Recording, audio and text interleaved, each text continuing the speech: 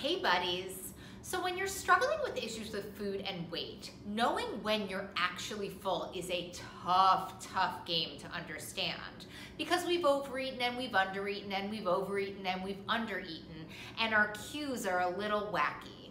That's why we love a meal plan because it helps to regulate when you're hungry and when you're full. But here's a little tip about feeling full and feeling hungry. When you're done with your meal, this is how I want you to feel. I want you to feel like you could get up and go dancing. That's a one. Let's put it on a one, two, three scale. One, could go out, could dance. Two, mm, I could go dancing, but like I wouldn't really want to. And three, like no way, bring me home, go to bed.